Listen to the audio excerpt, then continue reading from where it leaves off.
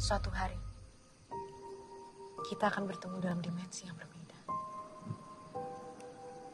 Ich vermisse dich auch. Perasaan sentimental perempuan yang dibalut oleh indera perasa yang lebih tajam dari laki-laki membuat ilmu kedokteran tidak cocok bagi mereka. Siapa yang bilang kamu gagal? Huh? Ya jangan pernah merasa gagal. Itu jalan kamu menuju menjadi seseorang yang bermanfaat bagi orang banyak. Bagaimana rasanya jadi minoritas yang dikagumi? Sudah berapa banyak wanita yang Anda raih seperti ini?